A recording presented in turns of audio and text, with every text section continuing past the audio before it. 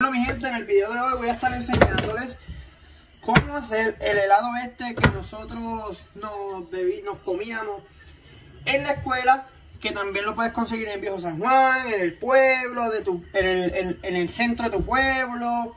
El helado típico de este carrito que suena la campanita, así que ese helado es bien rico, mantecado como tú le quieras llamar, pero este, en esta ocasión vamos a estar haciendo el de coco, que es uno de los más ricos. Esta receta gracias a mi amiga de, la intermedia, Yanis Escribano, que me la dio.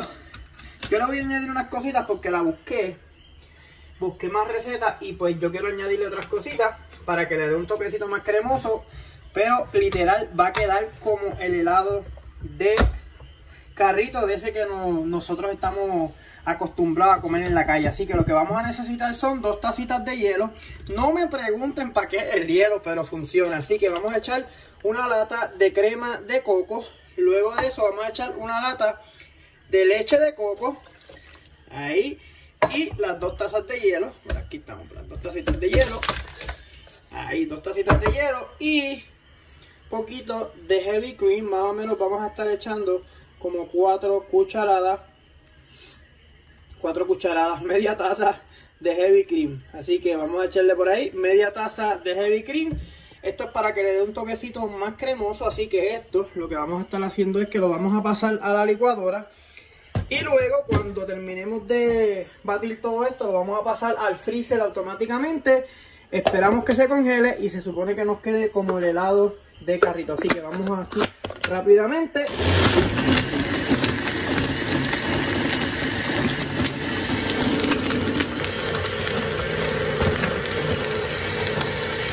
Aquí tengo un envase donde lo vamos a estar echando. Miren esto, mi gente. Este es el de coco. Tú puedes hacerlo del que tú quieras, pero yo lo voy a hacer de coco porque es mi favorito. Así que mira, lo que vamos a hacer es que lo vamos a poner en el freezer. No le voy a poner la tapa para que le entre un poquito más de frío. Así que voy a ponerle un poquito de papel de aluminio, pero no tampoco lo voy a apretar mucho. Para que, vamos a ver. Esto lo tengo que dejar hasta mañana, así que mañana cuando esto se congele o en par de horas lo pruebo. Así que aquí lo dejo y ya me invito. Vamos a probarlo. Que automáticamente en el video yo lo corto y aparezco probándolo. Así que vamos a meterlo en el freezer, en el congelador, hasta que se congele, obviamente, y luego lo probamos. Bueno, mi gente, ya tengo aquí el helado. Mírenlo por ahí. Vamos a destaparlo a ver. Miren cómo se ve en el heladito. Vamos ahora a echarlo en el vasito, en el clásico. También lo echan en una barquilla, pero yo no tengo barquilla. Miren, miren, miren, miren, miren esto, miren esto, mira, mira, mira. Que no parece al helado. que te sirven en los cajitos. Miren esto, mira, mira, la misma.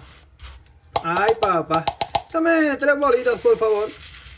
Mira, mira, mira, mira. Uf. Hay que ver si sabe igual. Así que vamos a probarlo. Miren esto, mi gente. Uh, qué cosa más brutal. Ya no tengo que ir a los carritos para comer helado de bolita. Ya lo puedo hacer en mi casa. Miren, de show.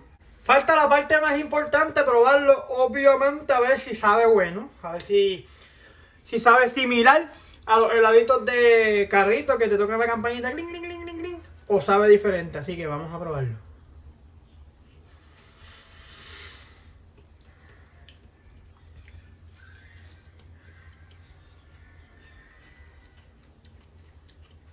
Wow. Para hacer hecho, para haber sido hecho en casa, te doy un 9. Mm. Bastante, la, bastante la similitud. De verdad que. Mm. Y es de coco, que es uno de mis favoritos. Pero voy a intentar también hacerlo de parcha y de los otros sabores. Así que de verdad que se los recomiendo que lo hagan. ¡Wow! Me transporta a mi infancia. Nada, mi gente, síganme en Instagram, Facebook, YouTube como el Gibara Moderno. Será hasta el próximo video. Nos vemos.